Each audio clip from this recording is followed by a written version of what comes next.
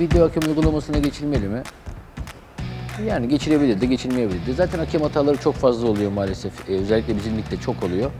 Yani artık herkes bu hatalara alıştı. Yani geçilebilir mi? E, Geçilebilir yani. Her taraf geç- geçiyorsa, Avrupa geçiyorsa biz neden geçmeyelim?